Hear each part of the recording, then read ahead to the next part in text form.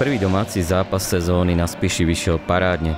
Takmer 3000 divákov na zimáku za Hornádom si 4 krát zakričali gól, zatiaľ čo súper Strenčína v bordových dresoch trafil len raz. Poďme však po poriadku. Dukla síce v 7 minúte otvorila skóre za slov Šona Joslinga, ktorý využil zakrytý výhľad brankára Marexa Mittensa a prestrelil všetko, čo pokus stálo v ceste. Ešte v prvej tretine však kanadská úderka v drese Rysov otočila na 2-1. Najprv Zek Andrusiak aj s prispením teču jedného z brániacich hráčov supera vyrovnal a potom obranca Ryan McKinnon v presilovke utešenou strelou bez prípravy otočil na 2-1.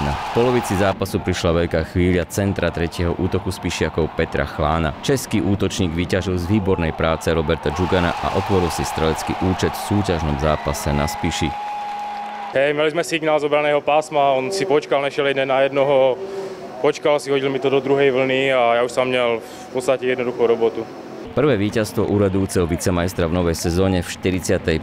minúte počiarkol Dante Anún gólom na 4-1. Krátko po naskočení stresnej lavice sa tento talianský reprezentant s kanadským rodiskom ocitol v úniku a prekonal Marcela Melicherčíka. Z tohto úderu sa už Trenčania do konca zápasu nespamätali.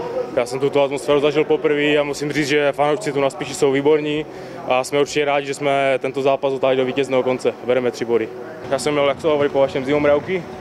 Mal som hala, burácel a fantastické to bol, krásny pocit a a myslím si, že toto ma bude baviť. Po zápase proti Trenčínu sa zdá, že na Spiši mali opäť šťastnú ruku pri výbere cudzincov. Takzvaní importi totiž strelili všetky 4 góly Rysov. A čo na to tréner Jason O'Leary? First two periods Hrali sme kolektívne veľmi dobre od prvého obrancu až po posledného útočníka. Výsledok napovedá, že sme to zvládli, ale nebol to jednoduchý zápas. Prvé dve tretiny boli herne veľmi tesné a v tretej mal super veľa striel. Našťastie nie až tak nebezpečných. Naše góly síce strieľali noví hráči v týme, ale neberiem to tak, že hrali dobre len tí, čo dali góly. Chcem sa poďakovať všetkým hráčom za výkony, aj mladým, ktorí boli tiež výborní.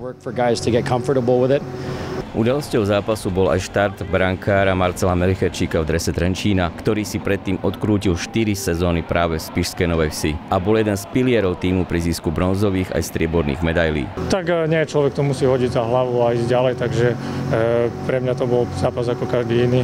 Snažil som sa pripraviť presne takisto ako na ostatné zápasy a chytať e, najlepšie ako viem. Hokejisti zo Spiša sa najbližšie predstavia pred vlastnými fanúšikmi v piatok 27. septembra, keď od 17.30 privítajú tradičného rivala zo susedného Popradu. Ešte predtým však Spišiaci vycestujú na ľad Nováčika zo Žiliny. Tento zápas odohrajú v útorok 24. septembra od 17.30.